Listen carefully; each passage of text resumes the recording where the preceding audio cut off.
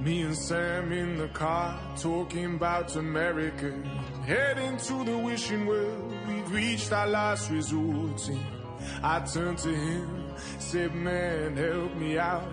I fear I'm on an island in an ocean full of change. Can't bring myself to dive into an ocean full of change. Am I losing touch? Am I losing touch now? He said, why, why, what a terrible time to be alive if you're prone to overthinking it.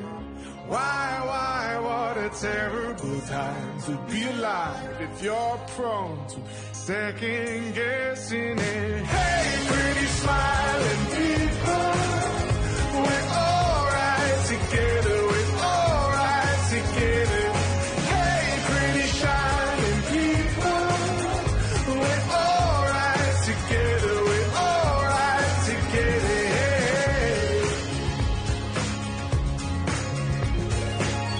Took it in turns to dream about the lottery.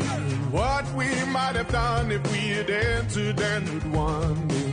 We're each convinced that nothing would have changed.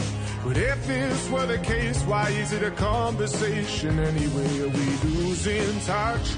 Are we losing touch now? He said, Why,